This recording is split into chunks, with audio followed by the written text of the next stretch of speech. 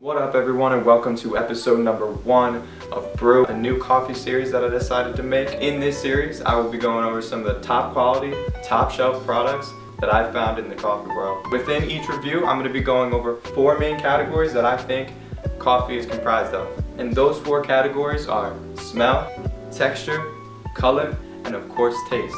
I'm also going to be touching up on the overall quality of each coffee, the coffee brand, and the vibe that I get from the coffee. Now that we've gone over what I'm covering in the video, I hope y'all enjoy. What's up y'all? So the coffee that I'm going to be reviewing today is called Illy.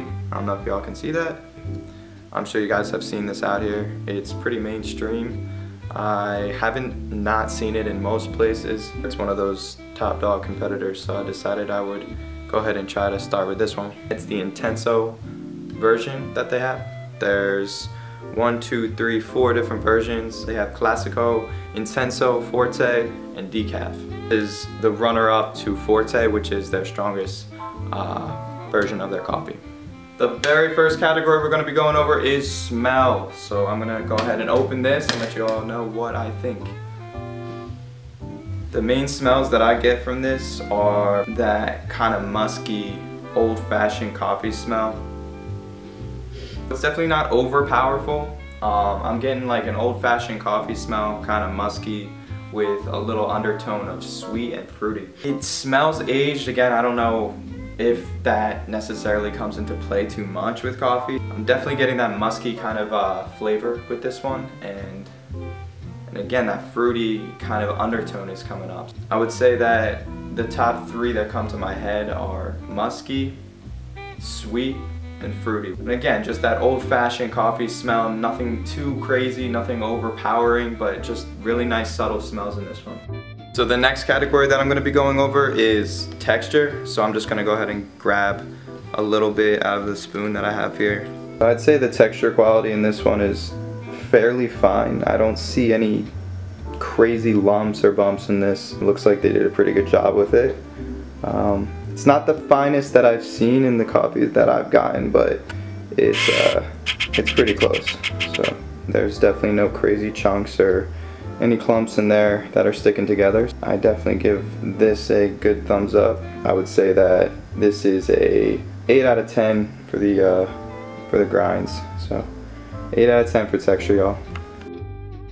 So looking at the color, it's actually really dark. It's not the strongest version that Illy has, but it comes out really, really black. I mean, there's almost no brown present in that. I'm gonna give it, just because I like my coffee dark, I'm gonna give the color a uh, good solid 9 out of 10 because that is really pretty. Just a nice, nice dark, dark, dark.